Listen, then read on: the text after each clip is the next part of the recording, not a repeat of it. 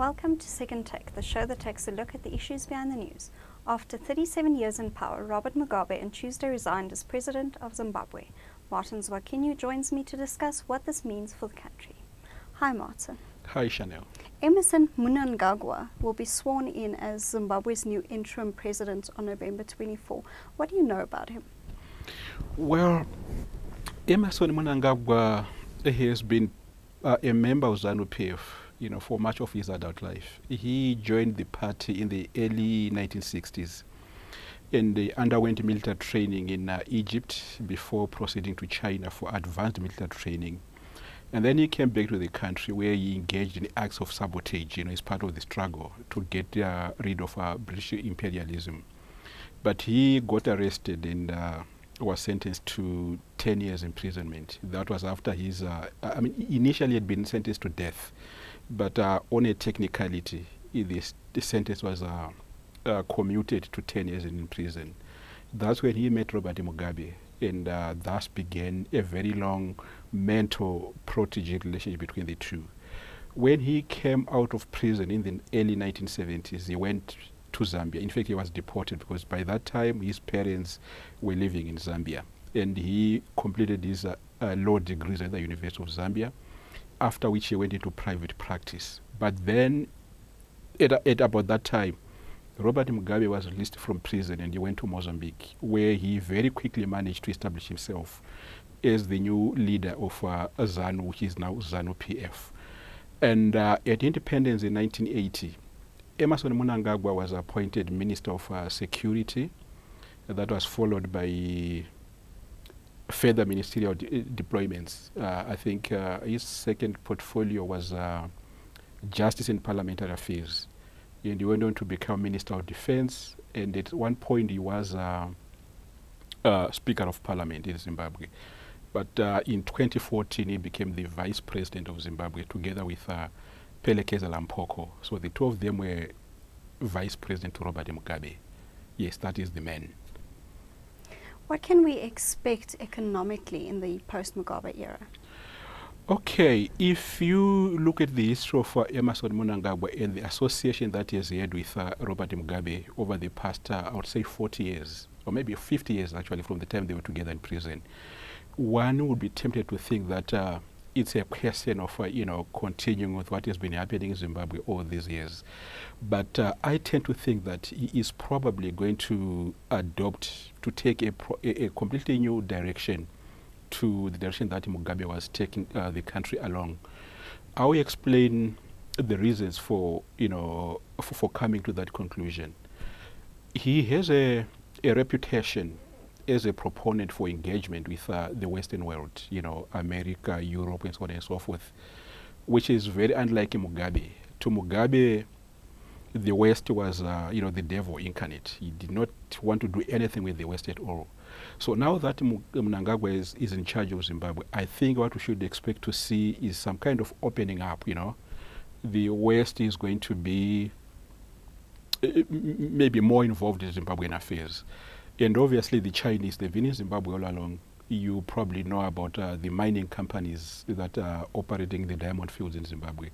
There is Anjin Investment, and then there is uh, Mining uh, from China, and a few other companies are in Zimbabwe. I mean, apart from those that are in the diamond uh, in the diamond fields.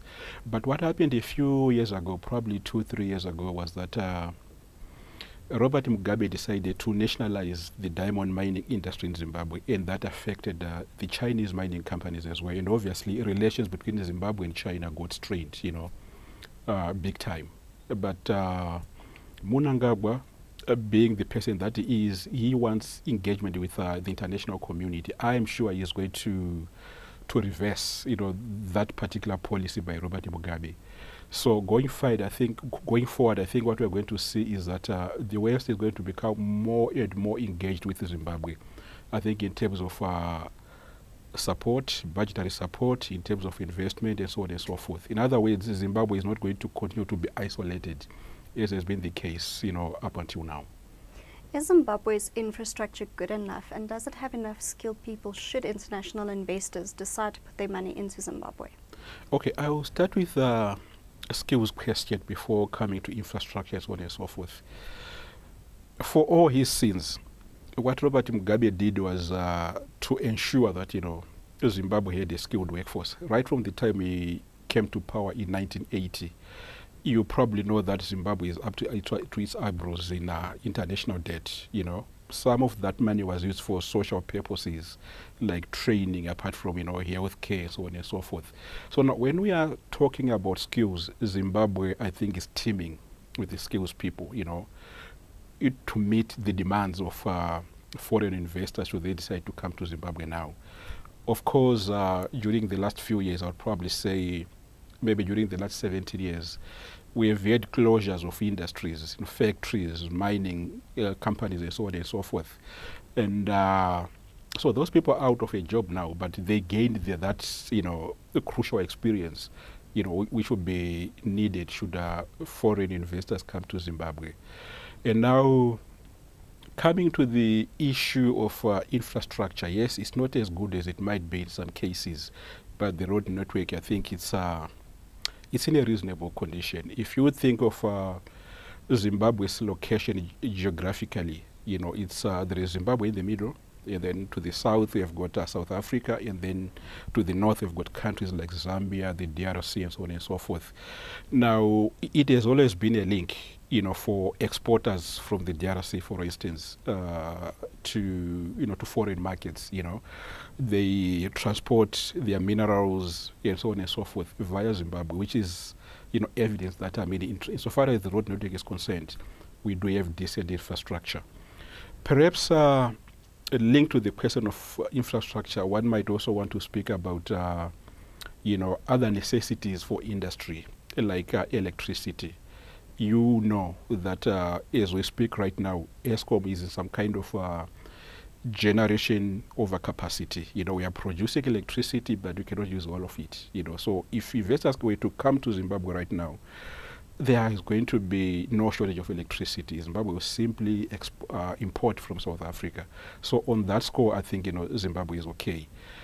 However, all this would depend on the economic policies that Mnangagwa is going to to adopt going forward. I listened to him last night as he spoke to his uh, supporters at uh, ZANU PF headquarters in Harare. He emphasized reviving the economy and he emphasized uh, job creation as well. So he's alive to the fact that, you know, he has got to do something about the economy. He's got to do something to create employment for Zimbabweans. Now, what that means is that uh, he just has to repeal some of uh, the legislation that, that was put in place by Robert Mugabe. You know, essentially what we are talking about is property rights. When you look at the past 17 years or so, that's when white farmers specifically were dispossessed of their land. That's when uh, owners of mining companies were told, you know, one day that, you know what, for you to be able to continue operating in this country, Zimbabweans must own 51% of your of your companies. You know, obviously, that, that puts off investors. So Mnangagwa has his way cut out for him. He has got to reverse all those policies. However, we mustn't uh, forget that Mnangagwa is coming in as interim president. In other words, between now and July next year, when uh, you know Zimbabweans go to you know elect uh, the, the, the next government. So one never knows really you know what is going to be Mnangagwa's preoccupation between now and July next year. It might be that he wants to consolidate his position. Uh, within ZANU so that he wins the next election. So if he gets pre preoccupied with that, then what I'm what I've been talking about might not uh, materialize at the end of the day. Thank you. You're welcome. That's Second Take Show for this week. Thank you for watching and join us again next time for more news analysis.